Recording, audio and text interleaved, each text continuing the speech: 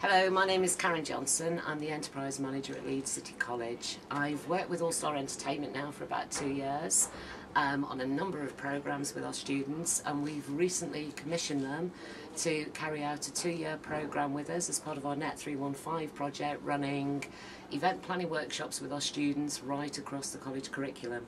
The reason I've chosen to work with All Star Entertainment again is I love their energy, their enthusiasm and their ability to exceed any expectations that we have.